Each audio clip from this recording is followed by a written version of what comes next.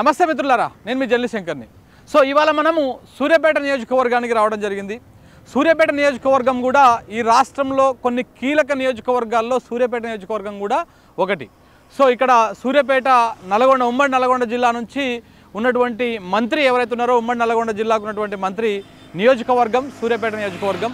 So మరి సూర్యాపేట నియోజకవర్గంలో ప్రజలు ఏమనుకుంటున్నారు? ఈ ఎన్నికల్లో సూర్యాపేట అసెంబ్లీ బరిలో ఎవరు గెలవబోతున్నారు? ఎవరికి ప్రజలు పట్టం కట్టబోతున్నారని పబ్లిక్ పల్స్ తెలుసుకోవడం కోసం మనం ఈ నియోజకవర్గానికి రావడం జరిగింది. ఒకసారి సూర్యాపేట గురించి మాట్లాడుకుంటే సూర్యాపేట పదేళ్ళ ముందు ఉన్నటువంటి సూర్యాపేట వేరు పదేళ్ళ తర్వాత ఉన్నటువంటి సూర్యాపేట వేరు అని ఇక్కడ ప్రజలు వాస్తవంగా బయట చెప్తున్నటువంటి మాట. ఇక్కడ బేసిక్గా చూసుకుంటే మొత్తము రెండు లక్షల నలభై వేల పైచీలకు ఓటు బ్యాంక్ ఉంటుంది. ఈ రెండున్నర లక్షల దాకా ఓట్లుంటాయి ఇక్కడ. మొత్తము నాలుగు మండలాలు ఒక టౌన్ ఉంటుంది. సో ఆ Suryapet town town urban Chivemla ఎసాత్మకూరు ఇంకొకటి పెంపహాడు ఇట్లా మొత్తము నాలుగు మండలాలు ఒక టౌన్ ఉంటుంది. ఇక్కడ ఓవరాల్గా రెండు లక్షల నలభై వేల పైచీలకు ఓట్లు ఉంటాయి సో మరి ఇక్కడ ఇక్కడ మొత్తం మనం ఈ నాలుగు మండలాలు ఈ టౌన్ని కవర్ చేసేటువంటి ప్రయత్నం చేద్దాం. ప్రజలు ఏమనుకుంటున్నారు? ప్రజలు ఎవరికి మళ్ళీ పట్టం కట్టాలనేటువంటి ప్రయత్నం చేస్తున్నారని చూద్దాం. సో ఇక్కడ పార్టీల వైజ్గా చూసుకుంటే ఒకటి సో బీఆర్ఎస్ నుంచి జగదీష్ రెడ్డి పోటీ పడుతున్నారు. బీజేపీ నుంచి సంకినేని వెంకటేశ్వర్లు పోటీ పడుతున్నారు. కాంగ్రెస్ నుంచి ఎవరైతే ఉన్నారో రామరెడ్డి దామోదర్ రెడ్డి పోటీ పడుతున్నాడు. ఇక బీఎస్పీ నుంచి చూసుకుంటే ఒట్టే జానయ్య పోటీ పడుతున్నాడు. సో ఇక్కడ ఈ నలుగురు నుంచి ప్రధానంగా పోటీ ఉండేటువంటి అవకాశం ఉంది. ఒట్టే జానయ్య మంత్రి జగదీష్ రెడ్డి దగ్గర వర్క్ చేసి ఆయన బయటికి వెళ్ళి బీఎస్పీలో జాయిన్ అయ్యి ఇక ఆ తతంగం అంతా మనం చూసినాం ఆల్రెడీ సో మరి బొట్టజానే ఎఫెక్ట్ ఏమైనా ఉంటుందా నియోజకవర్గం మీద?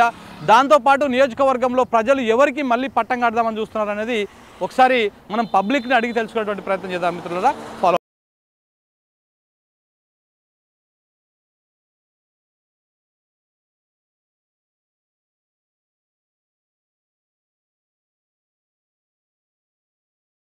లో ఉన్నటువంటి కల్నల్ సంతోష్ బాబు విగ్రహం దగ్గర ఉన్నాం. అక్కడ ఆయన కల్నల్ సంతోష్ బాబు విగ్రహం. ఇక్కడ ఒక ఆటో అని ఉన్నాడు. ఆటో అని అడిగి తెలుసుకుందాం ఎట్లా ఉంది వాతావరణం ఏంటి అనేది. నమస్తే అన్న. నమస్తే నమస్తే అన్న. బావురా? ఆ, బాగున్నావునా ఏం పేరు మీ పేరు?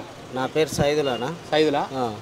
ఇప్పుడు నెక్స్ట్ ఎలక్షన్స్ వస్తున్నాయి కదా ఇప్పుడు. అవునా సూర్యాపేటలో వస్తున్నాయి మొత్తం రాష్ట్రం అంతా వస్తుంది అవును. ఎట్లా సూర్యాపేట పరిస్థితి ఎట్లుంటుంది?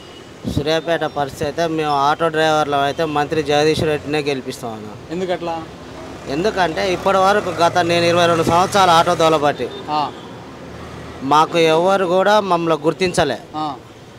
సరే మమ్మల్ని సీఎం కేసీఆర్ గారు మాకు ఒకటి ఆటో డ్రైవర్లు యాక్సిడెంటల్గా చనిపోతే వాళ్ళ పెళ్ళం పిల్లలు అనాథలు అవుతారన్న దాన్ని గుర్తించి ఒక ఐదు లక్షల ప్రమాద బీమా పెట్టిండు.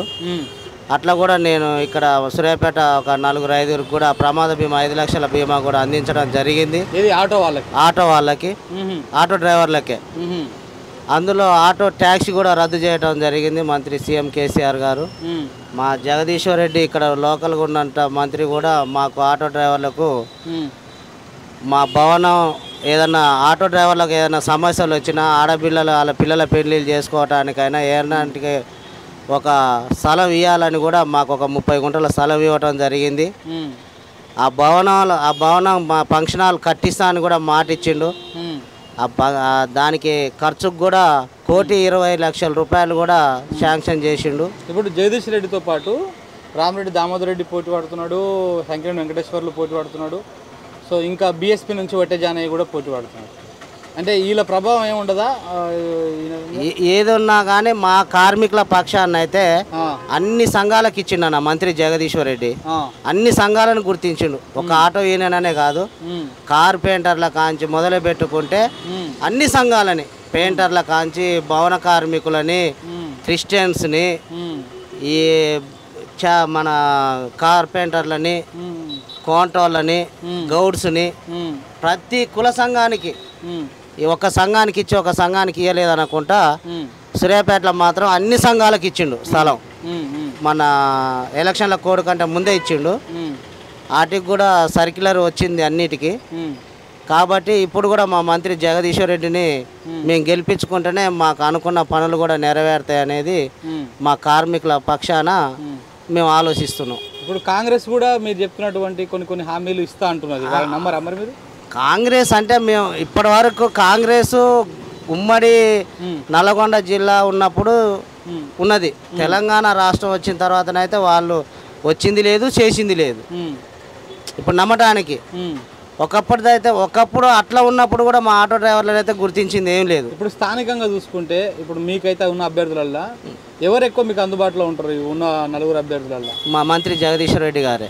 అంటే మంత్రి అందుబాటులో ఉంటాడు? అందుబాటులో ఉంటాడు. కాంగ్రెస్ ఎప్పుడు ఆయన ఒక మంత్రి అయినా కానీ కాన్సెక్స్ ఎమ్మెల్యే అన్న విషయాన్ని మర్చిపోలే సారు. సూర్యాపేటను వదిలిపెట్టలే. ఎమ్మెల్యేని అనుకునే తిరిగిండు ఎన్నడూ మంత్రి అనుకోలే. చిన్న సమస్య కూడా మేము డేరుగా ఇంత ఆటో డ్రైవర్లు అని కూడా. మమ్మల్ని అడ్డు లోపలికి పోతుంటే ఉమ్, "ఆ, సార్ ఇట్లా ఆటో నేను మేము మాట్లాడటానికి వచ్చినాం అంటే బాజాబ్తా కాన్వాయ్ దిగి కూడా మాకు సహకరించిండు సార్. ఏంటి అమ్మ మీ పరిస్థితి లేనిది? ఉమ్, ఏముంది? మీ సమస్య లేదని కూడా మాకు సార్ మాకు కలవటం మాట్లాడటం అందుబాటులో ఉండటం. కానీ కొందరు బయట ఏమని ప్రచారం నడుస్తుందంటే అక్కడక్కడ మీడియా కానీ ఈసారి కష్టం ఉంటుంది సూర్యాపేటలో జగదీష్ రెడ్డికి కొంచెం టఫ్ ఉంటుంది అని చెప్పి అంటారుగా ఇంక అంత మాత్రం అనాలగానా అంత మాత్రం అనకపోతే ఎట్లా? ఇప్పుడు మంత్రి చేసిన అభివృద్ధిలా అన్ని కనపడుతూనే ఉన్నాయి ప్రతి ఒక్కటి. ఈ రోడ్ల ఎడల్పు కానీ మెడికల్ కాలేజ్ కానీ ఎస్పీ ఆఫీస్ కానీ కలెక్టరేట్ కానీ ఒకప్పుడు ఈ సద్దల చెరువు మినీ ట్యాంక్ బండు ఆ ఏరియాకు కూడా ఒక ఆడ ఒక ఆడ మనిషి. ఆడ మనిషి అనే కాదు ఒక మగ మనిషి కూడా నడవలేని పరిస్థితి. ఇవాళ అలాంటి సద్దల చెరువుని ఒక మినీ ట్యాంక్ బండు. పిల్లలు ఆడుకునే స్థలం వాళ్ళ బోటు బోటు సౌకర్యం. ఎక్కడికో పోయి మనం ఒకప్పుడు బోట్ ఎక్కేది. ఇవాళ అలాంటి బోటు మనం సూర్యాపేటలోనే ఎక్కుతున్నాం. అది మంత్రి గారి పుణ్యమే. సరే. సో అభివృద్ధి మంచిగా అభివృద్ధి మంచిగా ఆయనకి చేసిండు. అంటారు మీరు. ఇటు పోతే ఇంటర్గేట్ మార్కెట్ కానీ మిషన్ భగీరథ కానీ ప్రతి ఒక్కటి చేసిండు అన్న. అందుకనే మేము కార్మికులం ఉమ్, మేము అందరం కూడా మీటింగులు పెట్టుకున్నాం. ఖచ్చితంగా మంత్రి జగదీష్ రెడ్డికి ఓటేస్తాం గెలిపించుకుంటాం. అత్యధిక మెజార్టీతో గెలిపించుకుంటాం.